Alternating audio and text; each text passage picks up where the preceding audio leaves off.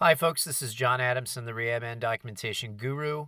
And today I'm going to talk about concurrent and what is concurrent and how to bill it.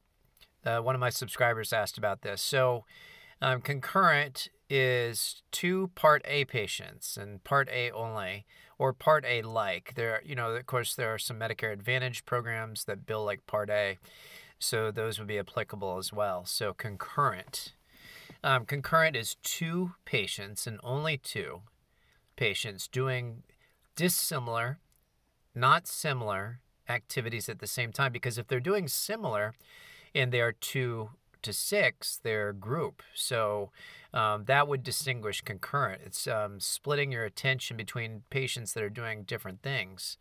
And you're billing them at the same time. You're seeing them at the same time. Now, concurrent, um, even though technically we don't count minutes. Minutes still go towards um, Medicare's calculation if you're uh, following the regulation for 25% group and or concurrent. So you still have to keep track of minutes. So when you see two patients that are on concurrent for one hour, then they each get 30 minutes of billable time. Mean, that's it.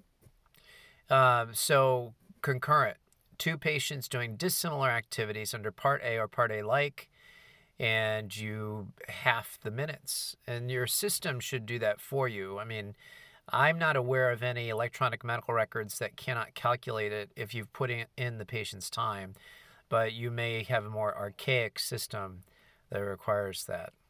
Anyway, um, I would still document too. Um, one of the things I would say is you should document that your care was delivered in a concurrent situation um, because uh, Medicare will expect that.